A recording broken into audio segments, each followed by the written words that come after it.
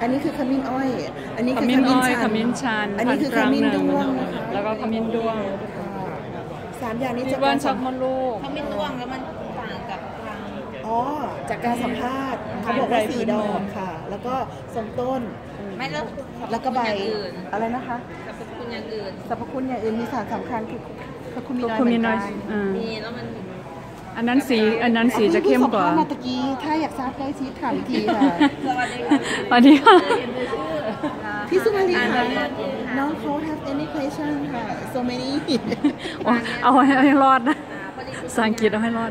ควรจะเลือกทางไหนอะไรเงี้ยค่ะทำยาทำยาต้องทางไหนแต่ตอนนี้เขาพูดถึงเรื่องของเราสารเคลือบมีน้อยนะคะต้องตัวนี้ตอนนี้อ่าแต่ถ้าเป็น คือธรรมธรรมดาถ้าเราเป็นยาก็เราจะดูน้ำมันหอมระเหยเพราะว่าแก้ความอื่นใช่ไหมคะก็เป็นตัวนี้ แต่ณปัจจุบันนี้กำลังพูดเรื่อง curcuminoid เพื่อทำเครื่องก็สมาเครื่องสำอางซึ่งราคามันมากกว่าอ๋อถ้าเครื่องสำอางนี่ตรังหนึ่งดีกว่าใช่ไหมคะพี่ตรังสองเอาเอาตรังถ้าเอาตรังสองปริมาณสาร curcuminoid คือพันธุ์นี้สูงกว่าคุมินสูงค่ะแต่ถ้าน้ำมันหอมระเหยน้ำมันหอมระเหยลองดมกลิ่นอันนี้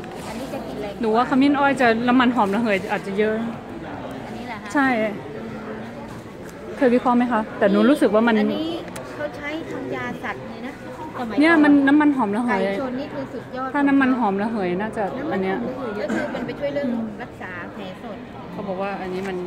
แต่หนูไม่ได้วิเคราะห์น้ำมันหอมระเหยหนูวิเคราะห์หนูวิเคราะห์เฉพาะหนูวิเคราะห์เฉพาะคือคุมินอยด์แล้วแล้วคนไปจับเลยอ๋อเหรอคะโอ้ตกใจค่ะเปลี่ยนค่ะโอ้ตายแล้วลืมตัวค่ะยานิคอนได้นะคะวางพ็อปอย่างงามคือคืออย่างนี้พี่มีปัญหาในใจมีปัญหาว่าอะไร มีปัญหาในใจพันธุ์พันที่เรามานี่นะบางทีดวงเดียกันที่เดียวกันบางกอมันสูงบางกอมันต่ำมันยังมีแวรี่อะไรอีกอะ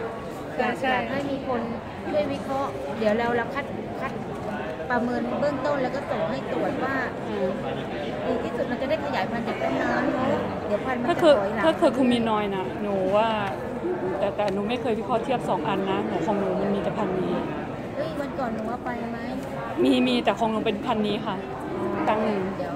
ด้วงอะเยด้วงมันยังแต่แต่ยังไม่นะค่อยนั่น เท่าที่พบปัญหาก็คือมันไปทำเครื่องสำอาง เกษตรกรเก็บตอนที่หัวมันยัง